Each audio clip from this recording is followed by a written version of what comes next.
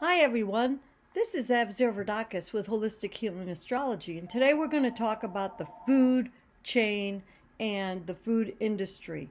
I have a lot of background in the food industry. Uh, those were my roots. My father came from uh, overseas, from Greece, and he opened up a diner with his partners, and they made, you know, tons of money, and they served real good food. It was homemade not like what we have now. So I'm going to give you a little bit of history about the food. But why am I talking about the food right now? Well, because we're in a dangerous situation. All right. If you haven't gone out to your local restaurant lately to see what's going on, and if you don't know anybody in the industry to see what's going on behind the scenes, um, it is a sad state of affairs. That is what I'm here to tell you. But it's not just the food industry, it's also all the, the, the components that gets the food on the table. So let's just start with the food has changed from the farms, the, the, the soil is all depleted, the pesticides that they use in the soil, um, the fertilizers that they use, and then the age of the food since it's been picked and then the radiation that goes into the food if it crosses the state lines, and you know they do. And some of the foods even come from different countries. And then we have to look at who is preparing this food, getting it on the truck, picking it from the fields. What kind of hygiene principles do they have in place? It's, you know, people working in the fields. I hate to be graphic, but if they have to go to the bathroom, they don't have porta potties so you wonder every time I hear, you know, don't forget my background after the uh, the restaurant industry, you know, working so many years helping my dad out. Uh, when I became of age, I definitely went to school and um, got into the the healing industry of medicine, and I worked as a laboratory uh, medical person and. Um, you know, we look for cancer cells. That was my thing. I did that for many, many years. But I always did my astrology and my metaphysical studies. I loved it, and I did that on the side for all my friends and my family. So, getting back to the food, food is a big issue right now. We need food to eat. And yes, America was the breadbasket of the world, you know, because of our farmland. We fed, you know, cancer is the the sign of uh, the United States of America. Cancer is the nurturing country, uh, very prosperous, but very caring and compassionate. We took care of the world, but at what cost? You know, it was all in good intentions, but we bastardized the food, you know, putting hormones in the food, GMOs, everything else. You know, we use modern technology to enhance the food production, but then it, st- it started to backfire. So and then you wonder why we have leaky gut and digestive issues and Crohn's disease. You know, you need to piece things together, guys. We have forgotten how to think. We've forgotten how to tap into our own our own intuition. You know, that's why shamanism is really uh, sprouting out here um, because we're going into the age of Aquarius where the ancient and the modern is blending together. So the food has evolved into old food. You know, we don't know when it was picked. They use preservatives to keep it from rotting. And um, then they use pesticides. You don't know what kind of critters are crawling all around this food in the warehouse. You don't know how much um, uh, rat droppings, mice droppings are in the food. You know, that's allowed according to the FDA. So, you know, with storage of food, we have issues. So, that's one of the components.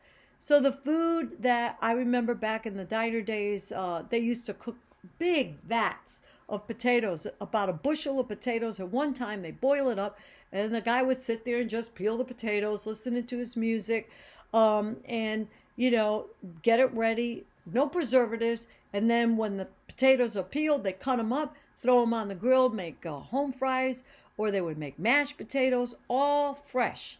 There was no powdered mashed potatoes back in the 50s and the 60s of the last uh, century, okay? So to make things easier because you know we started the women started working in the workplace outside of the home uh, we needed to make things more convenient so anyhow um, that's kind of what's been happening and the other thing that we have to remember is that the food um, is not as nutritious because the land has been stripped of its minerals. We're not putting back. I remember when they peeled the potatoes, it would take all the skins, give it to the farmer or whatever, they would put it back into the fields as fertilizer. So now we're going back into shamanistic thinking. You know, we're in the age of Aquarius, and Pluto is leaving Capricorn and going into Aquarius. And that is one of the reasons why this cycle is changing right before our eye, eyes. We are in the middle of a huge, irreversible change.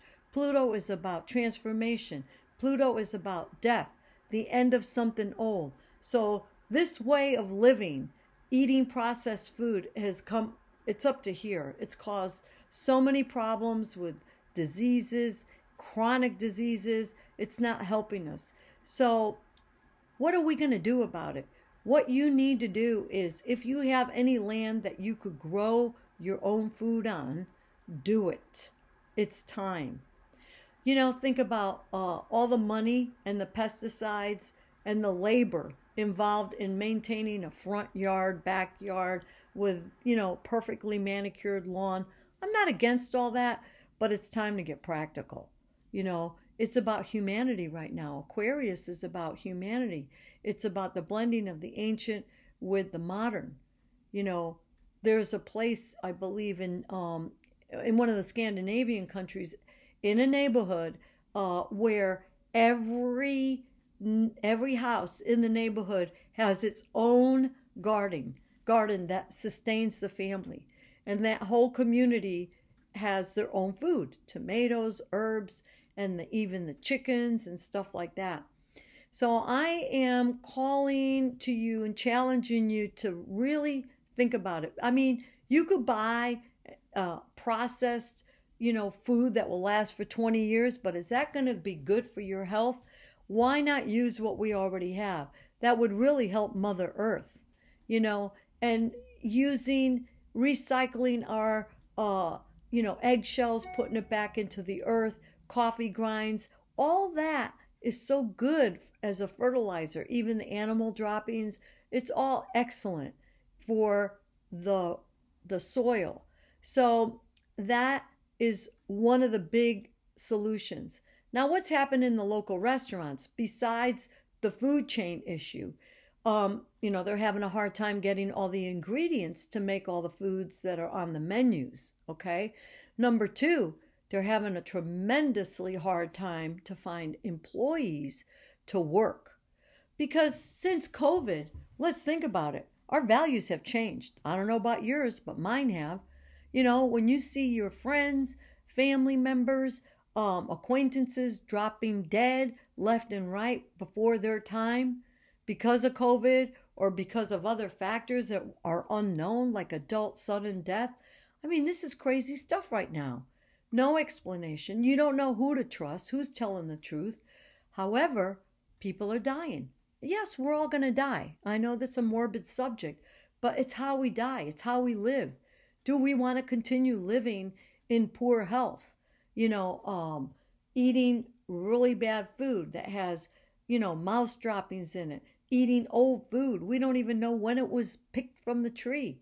Uh, the, the last few times I've been getting fruit, that is not locally um, grown, it, it's the texture strange and it tastes funny, and there's just so much going on with our food. So, getting back to the food industry, as far as people going to work, all industry is suffering now from employees that are like, you know what, they don't chase the dollar anymore. That was different generation. People, you know, just bought into the the idea like you got to save for tomorrow, you got to have all this money for tomorrow.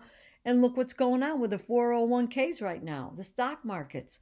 It's all and all your 401s, your retirement plans are based on the stocks. Good luck. you know, Is it a scam? Not really. Just it's unpredictable. Everything is unpredictable right now, and that's part of the Aquarian energy. Shocking, unpredictable, but it's all about humanity. So people don't want to work as servants for other people in you know the uh to wait on them or to cook for them it's hot in that kitchen if you never worked in a restaurant you'll never understand you'll never understand what goes on behind the scenes i mean that's a whole nother video as far as you know the hygiene who cleans the food and don't forget back out in the fields who is picking your food you know, if they're from different countries, they have different hygiene standards. They don't have porta potties out there, they use the fields. And who knows if they have toilet paper. So when the next time you hear about recall lettuce, you know, with E. coli on it, E. coli comes from feces. So put things together. I'm asking you guys to think because we need to all think for ourselves. Don't just listen to what media is telling you. Follow the money if you don't want to, you know, listen, but just follow the money. That will tell you a lot. Who's making all the money? Is it you? Are you making all the money? So, so getting back to the restaurants, they are 90% of them, if not 100%, are understaffed. So they have limited resources on people preparing the foods, people cleaning the area, and people showing up to accommodate all the uh, patrons that come in to have a meal. But you know what? There's also the I pay attention when people go into a restaurant how they behave. They talk to the servers as if they're servants. I've never seen anything like it. With such disrespect, no gratitude. My egg's a little runny. Oh, my toast, I don't like the way it tastes. Can you send it back? Throw it out this and that. I'm not paying for it. It took too long. You know, why don't you go home and cook? The luxury of having other people cook for you, you know, and you're not using your gourmet kitchen, well, shame on you. That's all on you. But more and more and more restaurants are closing around here left and right. You go to restaurants, they're not at full capacity. It has nothing to do with COVID. It has to do with staffing. They change their hours due to staffing. But it may not affect you right now, but eventually it will. So we all need to rally together and come up with a solution. Don't go out and eat so much. They can't handle it. Start growing your own food. Start cooking your own food. I mean, I grow my own tomatoes and I don't like the tomatoes in the store unless they're locally, you know, grown tomatoes. But you know, it's so much better for your body. You're getting all the nutrients, all the vitamins. So, that is my take on the food industry. And people don't understand. And next time you go to a restaurant to eat, ask the servers what's going on, ask them how they feel, treat them right, give them a tip. I can't believe some of these cheap people going out there and giving a 10% tip or under. That's ridiculous. Do you know how much work goes on b- behind the scenes to get you so you could eat on a clean plate with clean silverware and have a napkin on the table with salt and pepper? Somebody's got to fill all that stuff up. Somebody's got to cut up all that fruit. Someone's got to get it all ready. Somebody has to make sure that coffee is brewed, that your beverages are made. You know, someone's got to go and talk to the cook, and it's hot back there, 120 degrees there, there there's really not a lot of um, you know air conditioning going on in a kitchen because everything's on deep fryers grills you know broilers. It's hot back there. So the other aspect is the energy aspect.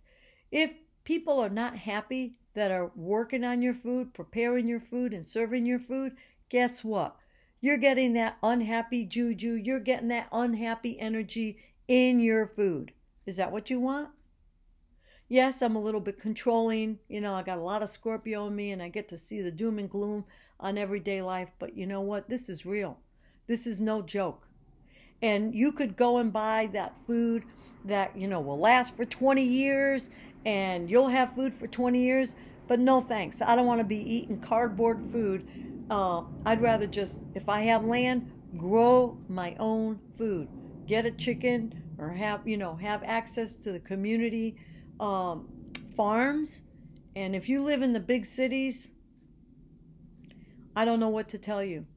But I'm praying for everybody. I'm calling on all the archangels and the angels uh, that are here to guide us and protect us.